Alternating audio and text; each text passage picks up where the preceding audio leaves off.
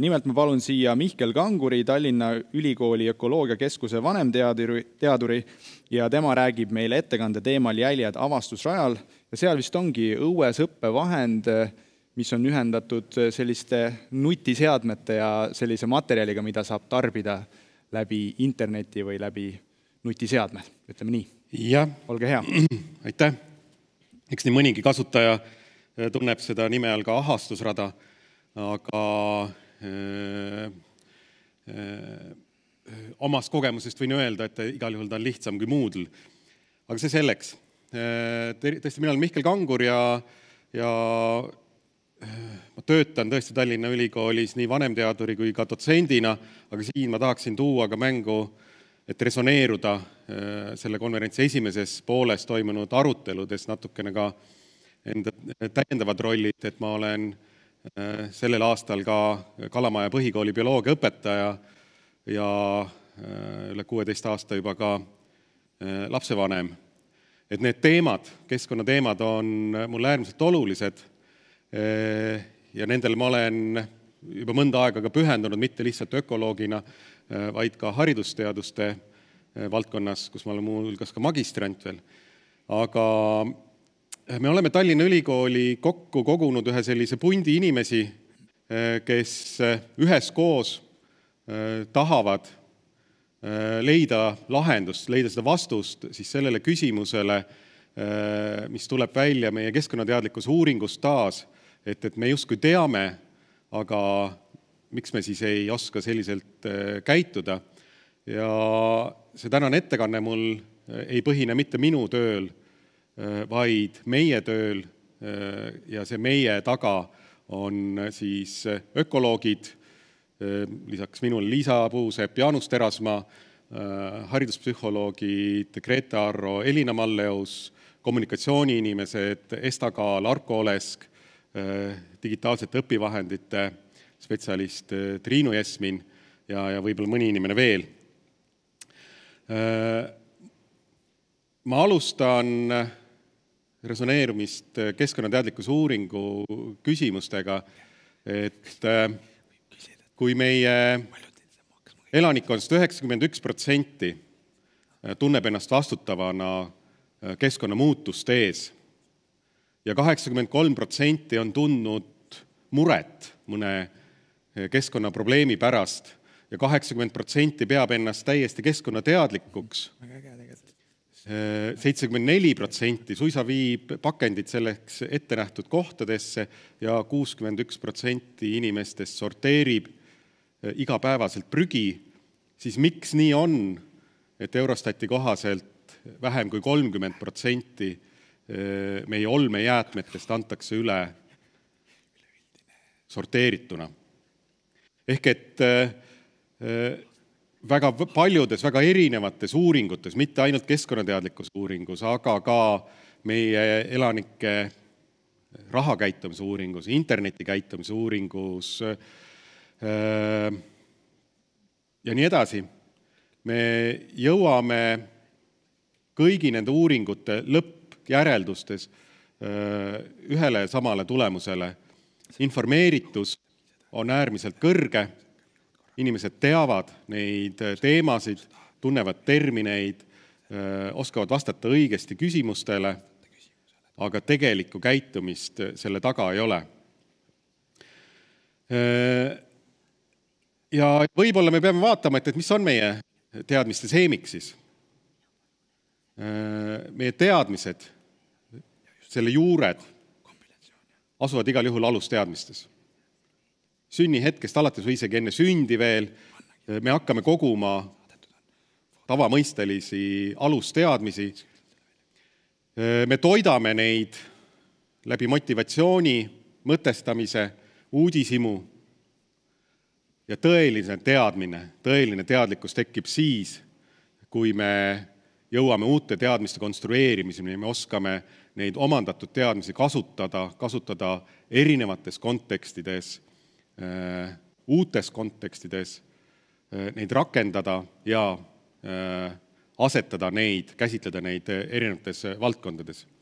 ja selle toetuseks me tõesti oleme omal ajal, aastal kaks tuhat kolmteist juba, loonud sellise rakenduse nagu avastusrada ja meil on hea meel näha, et selle kasutamine on olnud äärmiselt elav. Loomulikult me oleme sinna ka ise natukene hagu alla pannud ja, ja katsunud rääkida ja teinud ise radu ja, ja, ja koolitanud, aga nüüd sellesama Seemikuga, selle äh, uurimisrühmaga me oleme võtnud ette äh, sellise töö, et püüdnud ära analüüsida, milliseid küsimusi äh, on siis radade loojad avastusrajal äh, kasutanud. Äh, me jätsime välja kõik need rajad, mille me oleme ise teinud, loomulikult, sest iseenda töö hindamine ei saa olla objektiivne, seda peavad tegema teised inimesed. me ei teinud vahet, kas nad on õpetajad, keskkonnahariduskeskuste töötajad, tavahuvilised, et kõik need rajad mida me oleme, mis on avastusrajas kättesaadavad, need me vaatasime läbi ja hindasime ära umbes ligikaudu, mitte ei hinnanud, vaid töötasime läbi umbes neli äh, tuhat äh, küsimust. me jagasime need küsimused sellistesse kategooriatesse, kõigepealt tõenduspõhiselt, millised küsimused aitavad inimesel õppida ja millised küsimused ei aita. ja töötasime nende küsimustega siis edasi, mis tõenduspõhiselt teadusele tuginedes ütlevad, et äh, selline küsimus suunab õpilast looma uut teadmist, panema kokku oma peas kontseptsioone, äh, suunab teda rakendama enda teadmisi uutes kontekstides. kuna need küsimuste slaidid muutuvad ka äh, edaspidi äh, konverentsi osalejatele kättesaadavaks, siis ma ei hakka siin äh, kõiki neid küsimuse tüüpe ette lugema, ma käsitlen üsna põgusalt, aga sellega on võimalik teil hiljem ka töötada ja tutvuda. kõige lihtsam selline õppimist toetav, mõtlemisoskuseid toetav küsimuste vorm, mille me välja toome siin, on lihtsalt nähtuste selgitamine, ehk et palutakse õpilasel lihtsalt selgitada nähtust. miks see kaevandus suleti, miks miski asi siin on? Äh, keerukamate mõtlemisoskuste suunas, mille suunas me peaksime siis enda hariduse teed äh, suunama ka, on näiteks analüüsimine. võtame selle mingisuguse fenomeni juppideks, äh, osadeks ja võib-olla paneme ta hoopis teises kontekstis teistmoodi kokku. Juppideks võtmine võib aidata meil mõistma selle süsteemi terviklikku toimimist. Äh, hindamine, anna, anda mingisugune hinnang, anda, selgitada mingisugust ta-, tähendust, väärtust läbi küsimuse, lihtsalt hinnata, et, et kas linnupojad on pesas. Mille põhjal sa hindad seda, mille põhjal sa teed selle järeldusele, et, et jah, nad on seal. süntees, äh, küllalt keerukas ülesanne panna teadmised kokku täiesti uueks ideeks, uueks lahenduseks. miks ne, miks see seinakorp äh, siin kasvab, aga teisi samblikke ei kasva? analüüsida seda olukorda sellisena äh, järgmine, kolmas selline küsimuste tüüp, mõiste arengut toetavad küsimused, mis on siis noh, me jõuame järjest keerukamate ülesanneteni, järjest enam õppijat õpingutes toetavate küsimusteni, selline eelteadmiste aktiveerimine, tavateadmiste või, või siis väärmõistete sõnastamine, ehk et recall ida, taga, taastada, taas esile kutsuda või meenutada äh, mingisuguseid alusmõisteid, aga siin ka tegeleda siis äh, väärmõistetega, näiteks siis äh, aluseline vesi või, või vaatle lihtsalt ka loodusmaja parki ja püüa hinnata, kas ta on äh, liigirikas.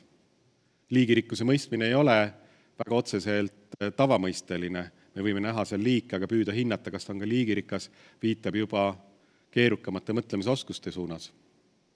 väljakutse, erinevate infokildude hindamine, nende põhjal uue selgituse, uue tähenduse loomine.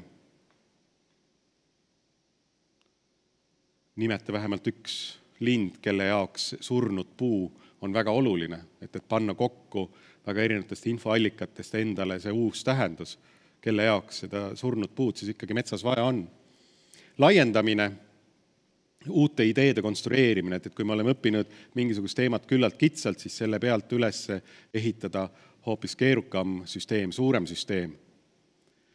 Või ka siis rakendamine, et enda teadmiste rakendamine päriselulise mingisuguse ülesande küsimuse lahendamiseks, et millise ilma, mis ilmakaarest see küngas siis kõige lamedam on ka.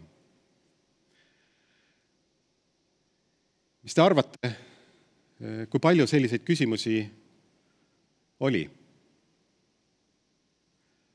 nelja tuhandest küsimusest, mis on rõõmustav ja mida me tõesti peame väga heaks tulemuseks, on see, et, et enamuses radadest äh, sisaldus vähemalt üks küsimus, mis toetas äh, kõrgemaid mõtlemisoskuseid või, või kontseptuaalset muutust, mõiste arengut. ehk et äh, hea meel on näha, et, et vähemalt väga suur osa õpetajaid, radade loojaid tegelikult oskavad selliseid küsimusi luua. me ei anna siin hinnanguid sellepärast et me ei tea, mille pärast neid radu on tehtud. Aga me eeldame, et, et õppimiseks. see rakendus on loodud õppimiseks. Selliseid küsimusi nelja tuhandest küsimusest oli kakssada kuuskümmend neli.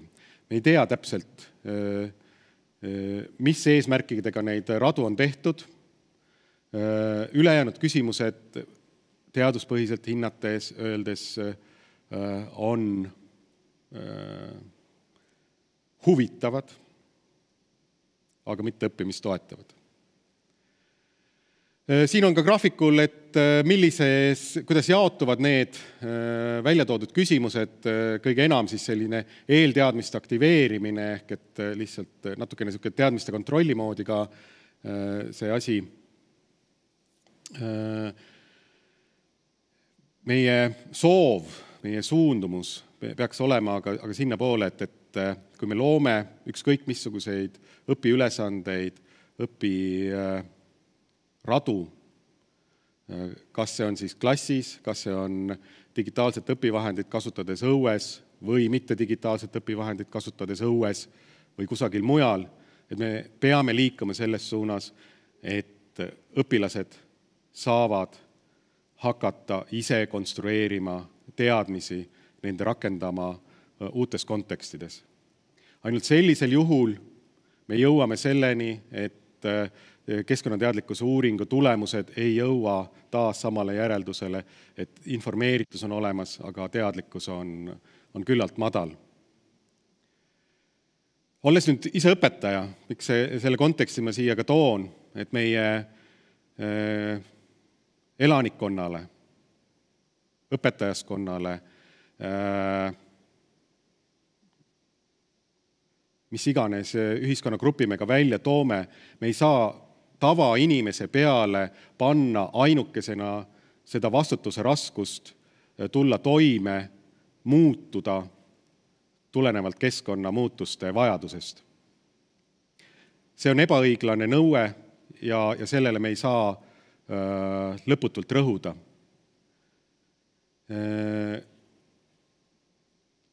tavaelanik saab tegutseda ainult selles ruumis, mille loovad talle poliitikud ja ettevõtjad.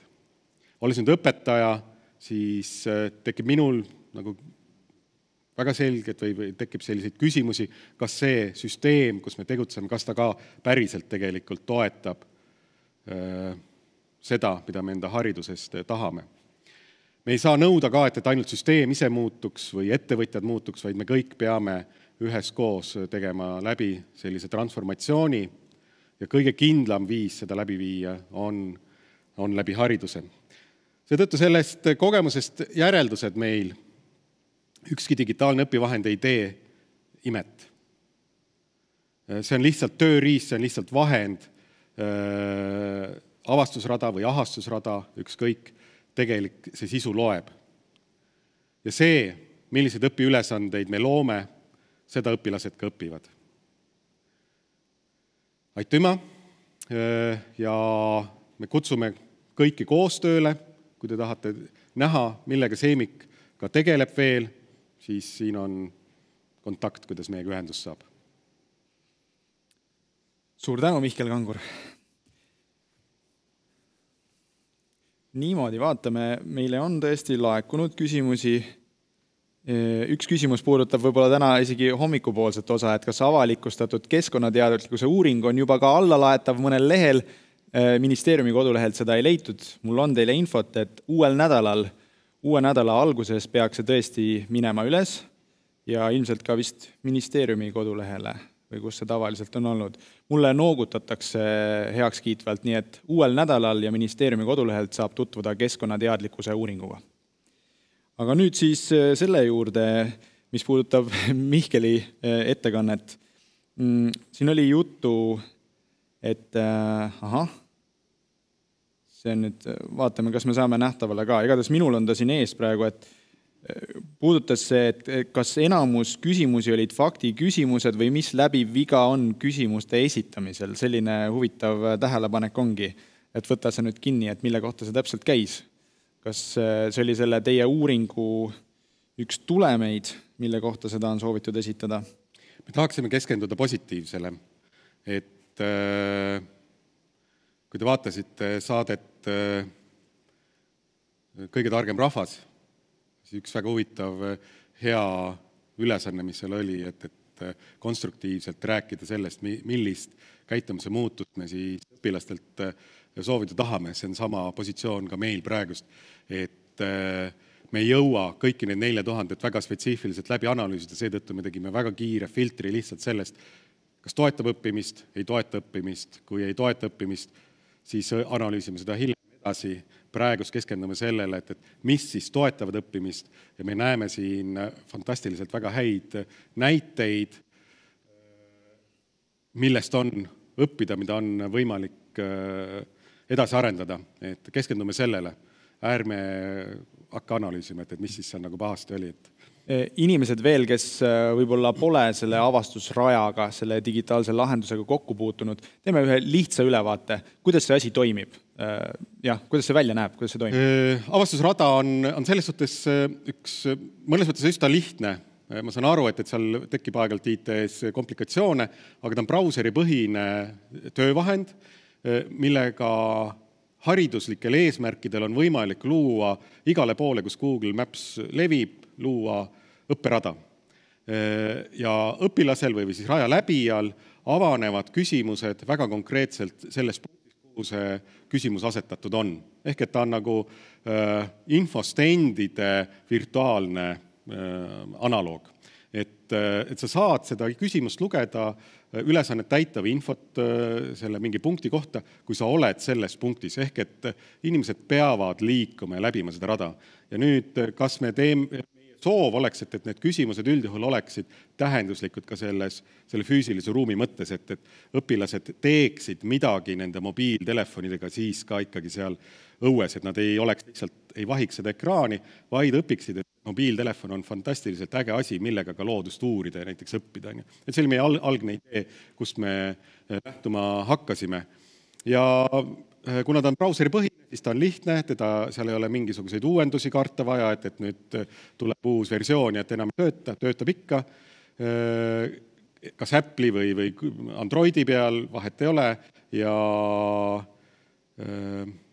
info hulk, mida seda rada läbides telefonid peavad saatma, vastu võtma, et see on üsna minimaalne, et, et ta võiks toimida nagu ka äh, sellistes oludes, kus võib-olla andmeside on natukene kehvem, et, et, et oleme püüdnud hästi-hästi minimaalse hoida, mis teebki selle mugavuse natukene jällegi ebamugavamaks, et, et alati tuleb leida kuskilt neid kompromisse.